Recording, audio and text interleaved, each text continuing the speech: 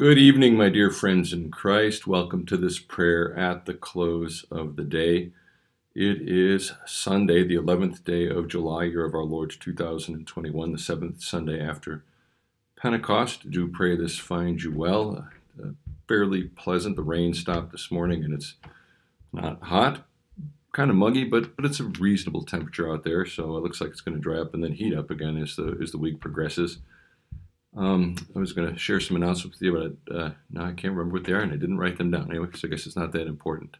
The psalm tonight will be the fifth psalm. That is the psalm appointed for this day. That will be our reading.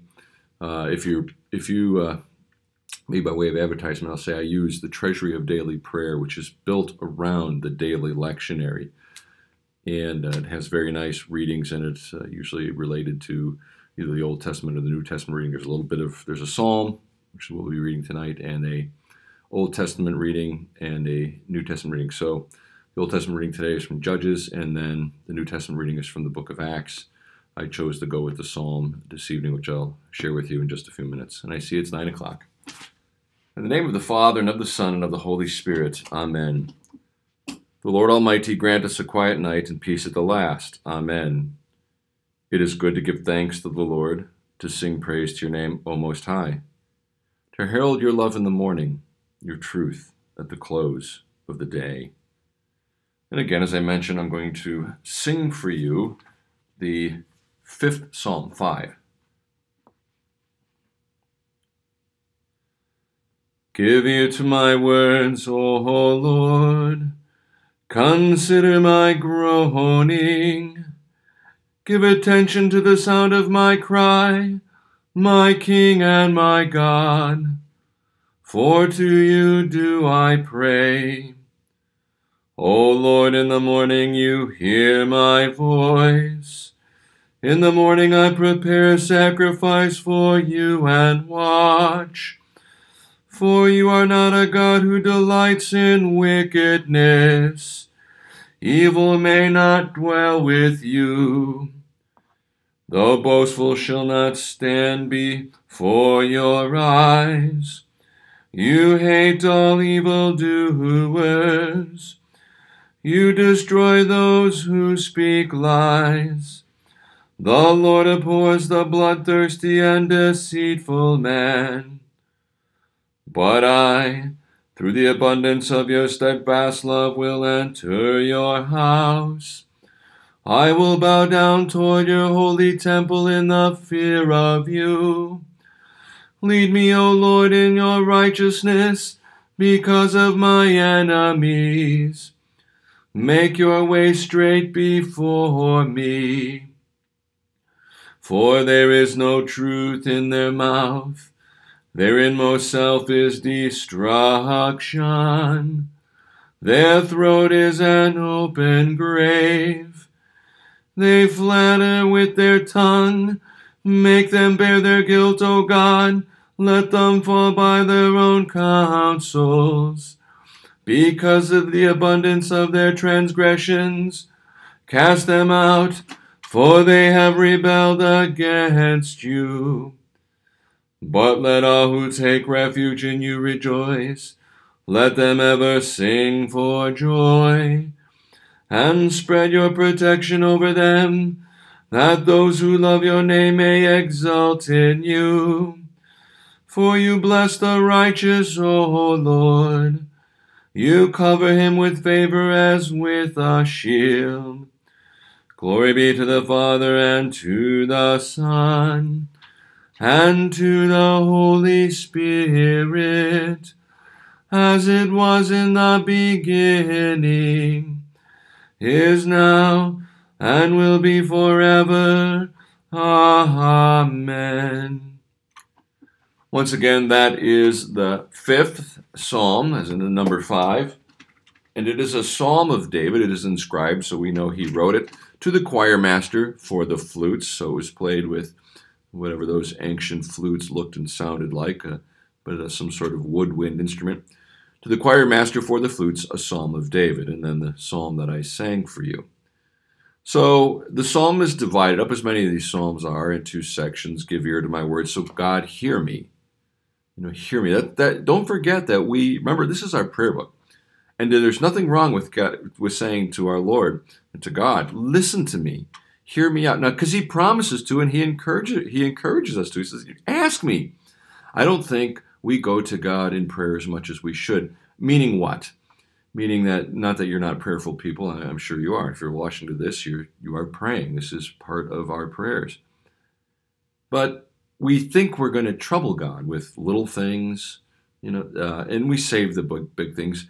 Yes, certainly pray for the big things. It's a very good thing to do because God can solve the problems we have no idea how to solve. He, he is God, so that's a good time to pray. But even the little things, things that are bugging you, uh, prayers of thanks, the prayers you, you're you're not going to exhaust God. You're not going to you know try His patience. Remember, He tells us to not only pray, but to pray to a point where you know we pastor Him and bother Him. So David, give ear to my words, O Lord. Consider my groaning. Give attention to the sound of my cry. My King and my God, for to you do I pray. Who do we pray? And by the way, why does the Lord hear you? because you use a lot of words, because you use fancy church words. No, there's nothing wrong with that, and we do that in church as we should. I use the formal language of the church. I'll do it in my private prayer life and sometimes even here. But our prayers, particularly in our private lives, are often very short and very informal. We often don't have time to structure formal prayers, and these prayers just come from the faith that we have that flows from our Lord Jesus Christ. Lord, have mercy you know, what do we do? Lord, have simple things we say, the Lord's Prayer, which we say over and over and over again, which covers many of the, if not all of the situations that we're going to experience in this life. So we're heard because of Christ. Now the psalm ends with that. You know, uh, in fact, I'll skip to it here. It says, "Okay, for you bless the righteous, O Lord. You cover him with favors with the shield." Well, Christ, of course, is the righteous one, but we we his righteousness is imputed, imparted to us is it covers us in our baptism. So we are God's holy people, even though we have the backstage view of ourselves and we are often less than holy. We are indeed sinners. And yet we are covered with the righteousness of Christ. It is because of Christ that our prayers are heard. Never forget that. Never forget that. So then the psalm continues to take, it, it changes tone a little bit. You are not a God who delights in wickedness. God does not delight in wickedness. He does not excuse our behavior. You can't stand before God and say, Well, you know, you've made me this way. No, sin made you this way. The curse, the disobedience made you this way, made me with this. Now, we're all sinners. We all struggle with various things. But, you know, you don't get to stand before God and say, Well, you know, this is who I am. You have to take me. He hates wickedness. Uh, because it's destructive. It's not because he's got nothing better to do than to hate. That's not who God wants to be. It's not who he actually is. That's his alien work, this anger, this hatred. Love is who he is, mercy is who he is. But he cannot tolerate wickedness. He gives us the good, we choose the bad. You know, and we destroy ourselves, we destroy our relationships, our lives. So you are not a God who delights in wickedness. Evil may not dwell with you. You and I cannot stand in the presence of God on our own. We will die. The whole Old Testament is proof of that, as well as the New Testament, but in a, in a much different way because of Christ our Lord. So, evil may not dwell with you. The boastful shall not stand before your eyes. You hate all evildoers. You destroy those who speak lies. The Lord abhors the blood bloodthirsty and the deceitful man. God does not like sin because it destroys his creation that he created for good. Think about the Ten Commandments. The Ten Commandments are there for our good, and yet we despise them. And then we wonder why things are a mess. We wonder why our neighborhoods have become what they are, our communities have become what they are. Uh, they, we wonder why people can't get along and why we we, cower indoors and people can't speak civilly to each other, and yet we want no regard for the commandments. Well, that's the bed we lie in, so we sleep in it. But the psalm continues and it takes another turn. But I, through the abundance of your steadfast love, will enter your house. Through the abundance of your steadfast love, God so loved the world that he sent his only begotten Son, Jesus Christ, that whoever believes in him shall not perish but have eternal life. Through the abundance of that love, we enter your house. Through Christ. Christ is the way, the truth, and the life. I will bow down toward your holy temple in the fear of you. We walk into church, we're reverent. Now that becomes a very sort of, people look down on that. Um, and I don't know why. Uh, we, have lost decorum. I mean, I could tell you that. Uh, any sense of decorum, but particularly in church. Now, this is not my church. You know, people are still have a sense of decorum. Thankfully so. Thankfully so. But people come into church, there's no sign of fear before God. The God who created you, the God who died on the cross for you, the God who who is the author of life, who is the one who holds the keys of death and Hades, the one who's destroyed our death. You know, no, no reverence, no, no, you know, accept me as I am. Doesn't happen in our church, but it does happen. You know, a little fear of God, you know, would be a good thing. Understanding who we are as we stand before Him and what we actually deserve, and yet what He gives to us. So now the psalm takes another tack. Lead me, O Lord, in your righteousness because of my enemies. Make your way straight before me. Because we're surrounded by so much evil and so much hatred of the Lord, Lord, you know, keep us on the straight and narrow. We have no hope apart from Him doing that. And he says once again, there is no truth in their mouth. Their, inmo- their inmost self is destruction. Those who seek to make us turn our backs on that way or get off the way, to not walk on that path. Make them bear their guilt, O God. Let them fall by their own counsels. Because of the abundance of their transgressions, cast them out, for they have rebelled against you. But then finally, let all who take refuge in you rejoice. That's us. We are people of great hope, people of great joy. Now, it doesn't look like that all the time. We'd be crabby and cranky. But yeah, you know, you and I have been with our brothers in Christ and our sisters in Christ at some of the worst times in their lives. And they might be sad, they might be scared. You know, those are signs of the weakness of our flesh because we know what we are, but yet there is joy and peace, even as we face death. You know, there is joy and peace. Why? Because we know the story. We know that the one who holds the keys of death and Hades has freed us from everlasting death. And that we, when we take our last breath, our soul goes to be with him, and our body will rise from the dead and, uh, when he comes back in glory. So let those who take refuge in you rejoice, let them ever sing for joy. And that's what we'll do as we stand before him. And spread your protection over them. Let those who love your name may exult in you. For you bless the righteous, O Lord. That's us. We are blessed in Christ. You cover me with favor as with a shield. Beautiful psalm. That is, and I see I am way over time. I can't count myself with these psalms. It's a short psalm, too. All right, let us turn to prayer. I believe in one God, the Father Almighty, maker of heaven and earth and in Jesus Christ, his only Son, our Lord, who was conceived by the Holy Spirit, born of the Virgin Mary, suffered under Pontius Pilate, was crucified, died, and was buried. He descended into hell. The third day he rose again from the dead. He ascended into heaven and sits at the right hand of God the Father Almighty. From thence he will come to judge the living and the dead.